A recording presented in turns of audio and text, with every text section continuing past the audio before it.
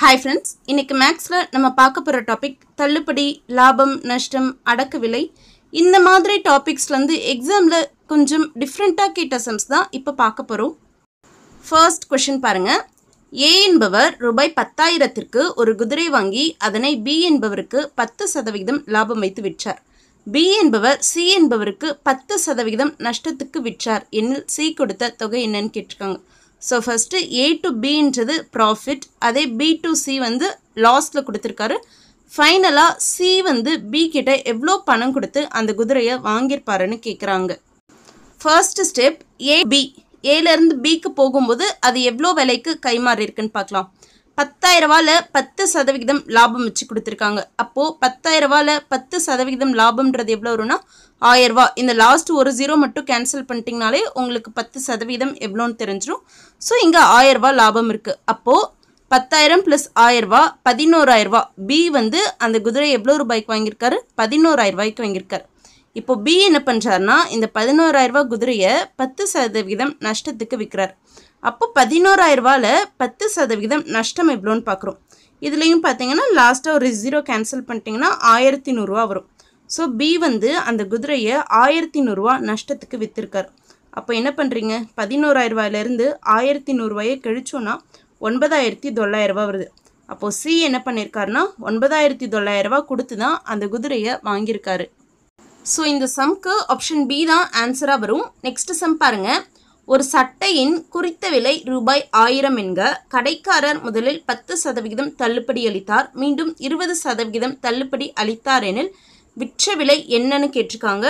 இந்த மாதிரி கண்டினியூஸாக டிஸ்கவுண்ட்ஸ் தர்றத தொடர் தள்ளுபடிகள் அதாவது கான்செக்யூட்டிவ் டிஸ்கவுண்ட்னு சொல்கிறோம் இது நீங்கள் ஒரு ஷார்ட்கட் மூலயமா ஈஸியாக போடலாம். அந்த ஷார்ட்கட்கான ஃபார்முலா இதுதான். X plus Y minus X Y by hundred percentage இங்கே ஃபர்ஸ்ட் கொடுத்துருக்கிற டிஸ்கவுண்ட் எக்ஸ்னு வச்சுப்போம். செகண்ட் கொடுத்துருக்குற டிஸ்கவுண்ட் ஒய்னு வச்சுக்கலாம். இப்போ ஃபார்முலாவுக்கு போகலாம் எக்ஸ் வந்து டென் ஒய் வந்து டுவெண்ட்டியா ஸோ எக்ஸ் ப்ளஸ் ஒய் வந்து டென் ப்ளஸ் டுவெண்ட்டி அதே மாதிரி X Y by hundred ten into twenty by hundred ten into twenty two hundred two hundred by ten cancel பண்ணிங்கன்னா டூ இங்கே X plus Y ten plus twenty thirty so thirty minus two twenty eight percentage அப்போது அவர் மொத்தமாக கொடுத்த discount எவ்வளோன்னு பார்த்தா twenty eight percentage இந்த twenty eight பர்சன்டேஜ்ன்றது ஆயிரம் எவ்வளோன்னு கண்டுபிடிக்க போகிறோம் இருபத்தெட்டு பை நூறு இன்ட்டு ஆயிரம் போடுறோம். ரெண்டு ஜீரோக்கு ரெண்டு ஜீரோ கேன்சல் இருபத்தெட்டு இன்ட்டு பத்து இரநூத்தி எண்பது ரூபா. அப்போ அவர் கொடுத்த டிஸ்கவுண்ட் ரேட் எவ்வளோன்னா டூ எயிட்டி ஸோ டிஸ்கவுண்ட் போக ஷர்ட் எவ்வளோ ரூபாய்க்கு விற்றுருப்பாரு ஆயிரம் மைனஸ் இரநூத்தி எண்பது போட்டால் எழுநூற்றி இருபது. ஸோ அந்த எழுநூற்றி இருபது தான் ஷர்ட்டோட விற்ற விலை. நெக்ஸ்ட் சம் பாருங்க. இருபது சதவிகிதம் பத்து சதவிகிதம் மற்றும் ஐந்து சதவிகிதம் என்ற தொடரான தள்ளுபடிக்கு சமமான ஒற்றை தள்ளுபடி காண்க. இதுவும் நம்ம போன சம் போட்ட மாதிரியே தான் அங்கே ரெண்டு தள்ளுபடி கொடுத்துருந்தாங்க இங்கே மூணு தள்ளுபடி கொடுத்துருக்காங்க. ஸோ என்னென்னா அந்த ஃபார்முலாவே நம்ம ரெண்டு தடவை அப்ளை பண்ணுவோம். ஃபஸ்ட்டு கொடுத்துருக்கிற ரெண்டு தள்ளுபடிகளை ஃபஸ்ட் எடுத்துப்போம்.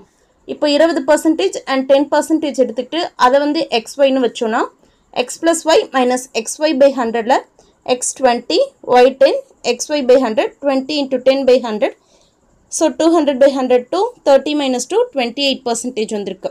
இப்போ என்ன பண்ணுறீங்கன்னா இந்த டுவெண்ட்டி எயிட் பர்சன்டேஜை எக்ஸ்னு வச்சுக்கோங்க. இங்கே இன்னொரு டிஸ்கவுண்ட் ஃபைவ்னு இருக்கு இல்லையா? அதை வந்து ஒய்னு வச்சுப்போம். ஸோ ஃபார்முலாக்கு போவோம். X plus Y twenty eight plus five minus X Y by hundred twenty eight into five by hundred இந்த டுவெண்ட்டி எயிட்க்கும் ஹண்ட்ரட்க்கும் ஃபோர் டேபிளால் கேன்சல் பண்ணோன்னா மேலே seven fours are twenty eight கீழே twenty five fours are hundred வரும் next twenty ஃபைவ்க்கு ஃபைவ்க்கு வந்துச்சுன்னா கீழே ஃபைவ் இருக்குது ஸோ என்ன இருக்குன்னா thirty three minus seven by five ஒரு முழு எண் ஒரு பின்ன எண். இது எப்படி கழிப்போம்? எல்சிஎம் கண்டிப்பாக எடுப்போம். எல்சிஎம் எடுத்தால் கீழே ஃபைவ் வருமா?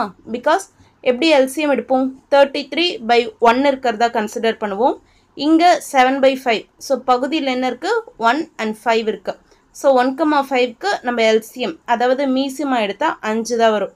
ஸோ இங்கே மேலாலையும் அஞ்சால் மல்டிப்ளை பண்ணால் thirty three into five one sixty five minus seven divided by ஃபைவ்னு இருக்கா? One sixty five minus seven one fifty eight வரும். ஒன் ஃபிஃப்டி எயிட்டை ஃபைவால் அடித்தா thirty one point six percentage வருது. ஸோ இந்த thirty one point six percentage தான் ஒற்றை தள்ளுபடி. ஸோ நல்லா ஞாபகம் வச்சுக்கோங்க. தொடர் தள்ளுபடிகள்னா X plus Y minus X Y by hundred அவங்க எத்தனை பர்சன்டேஜ் கொடுத்துருந்தாலும் நீங்கள் இந்த ஃபார்மில் வச்சு கால்குலேட் பண்ண முடியும். நெக்ஸ்ட் சம் பாருங்கள் எட்டு பொருட்களின் அடக்க விலை பத்து பொருட்களின் விற்கும் விலைக்கு சமம் என நஷ்ட சதவிகிதம் என்ன? இங்கே என்ன விலைக்கு வாங்கினாங்க எதுவுமே கொடுக்கல. ஸோ நம்மளாக அசியூம் தான் பண்ணணும். ஒரு பொருளின் அடக்க விலை நம்ம ஒரு பத்து ரூபான்னு வச்சுக்கிட்டா எட்டு பொருளின் அடக்க விலை எட்டு இன்ட்டு பத்து எண்பது ரூபா வரும். இப்போ என்ன சொல்லியிருக்காங்க? நான் எட்டு பொருளை வாங்கின ரேட்டுக்கு பத்து பொருளை விற்ற ரேட்டு சேமாக இருக்குன்னு சொல்லியிருக்காங்க.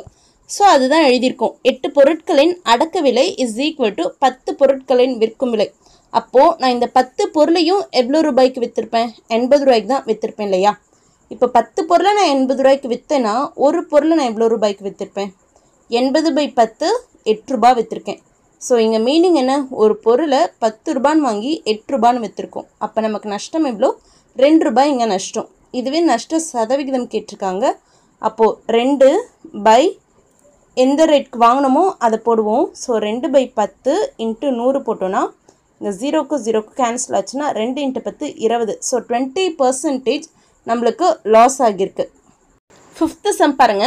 ஒருவர் ஒரு வானொலி பெட்டியை அதன் விற்பனை விலையில் ஒன்பது பை பத்து மடங்கில் வாங்கி அதை விற்பனை விலையை விட எட்டு சதவிகிதம் அதிகப்படுத்தி விற்றார் எனில் அவர் பெற்ற லாப சதவிகிதம் என்னன்னு கேட்டிருக்காங்க. வேர்ட்ஸ்லாம் கொஞ்சம் நல்லா கவனிங்க. நீங்கள் ஒரு பொருளை இப்போ நூறுரூபான்னு விற்கலான்னு இருக்கீங்க ஓகே பிகாஸ் இங்கே ரேட் எதுவும் கொடுக்கல. அதனால் நம்ம அசம்ஷன் நூறுரூபான்னு வைக்கிறோம். நீங்கள் நூறுரூபாய்க்கு விற்கலான்னு இருக்கும்போது ஒருத்தர் உங்ககிட்ட இருந்து வந்து பேசி ஒன்பது பை பத்து மடங்கில் அந்த பொருளை வாங்கிட்டார். ஸோ நூறில் ஒன்பது பை பத்து மடங்குன்றது ஒன்பது பை பத்து இன்ட்டு நூறு போட்டிங்கன்னா தொண்ணூறுபா அவர் எவ்வளோ ரேட்க்கு வாங்கியிருக்காரு? தொண்ணூறுபான்னு அந்த பொருளை வாங்கியிருக்கார். இப்போ அவர் என்ன பண்ணுறாருன்னா நான் எவ்வளோ விற்கலான்னு இருந்தேனோ அதை விட எட்டு சதவிகிதம் அதிகமாக விலை வச்சு விற்றுருக்கார் நம்ம எவ்வளோ விற்கலான்னு இருந்தோம்? நூறுரூபான்னு விற்கலான்னு இருந்தோம். ஸோ நூறுரூபாவில் எட்டு சதவிகிதம் போட்டால் எட்டுரூபா வரும் இல்லையா? ஸோ ஹண்ட்ரட் ப்ளஸ் எயிட் அவர் எவ்வளோக்கு விற்றுருக்காருனா நூற்றி எட்டு ரூபாய்க்கு விற்றுருக்கார் இப்போ அவர் வாங்கினது தொண்ணூறுரூபா அவர் விற்றது நூற்றி எட்டு ரூபா. அப்போ அவருக்கு லாபம் மட்டும் எவ்வளோ வரும்? பதினெட்டு ரூபா அவருக்கு லாபம். இந்த சம்மில் அவர் அடைந்த லாபம் எவ்வளவுன்னு கேட்டிருந்தா நம்ம ஆப்ஷன் சி பதினெட்டுன்னு சூஸ் பண்ணியிருக்கலாம் பட் அவங்க கேட்டிருக்கிறது நல்லா கவனிங்க. லாப சதவிகிதம் தான் கேட்டிருக்காங்க. ஸோ நம்ம லாப சதவீதம் கண்டுபிடிக்கணும். லாப சதவீதம் எப்படி கண்டுபிடிப்போம்? லாபம் டிவைடட் பை வாங்கிய விலை இன்ட்டு ஹண்ட்ரட்னு போடுறோம். இங்கே லாபம் பதினெட்டு வாங்கிய விலை தொண்ணூறு இன்ட்டு நூறுன்னு போடும்போது ஜீரோக்கு ஜீரோக்கு கேன்சல் பதினெட்டுக்கு ஒன்பது கடிச்சா ரெண்டு வரும். அப்போ ரெண்டு இன்ட்டு பத்து இருபது. டுவெண்ட்டி பர்சன்டேஜ் அவருக்கு ப்ராஃபிட் வந்திருக்கு. இந்த அஞ்சு கொஷின்ஸுமே எக்ஸாமில் கொஞ்சம் டிஃப்ரெண்ட்டாக இருந்த கொஷின்ஸ் அதனால தான் இதை மட்டும் தனியாக வீடியோ போட்டிருக்கேன்.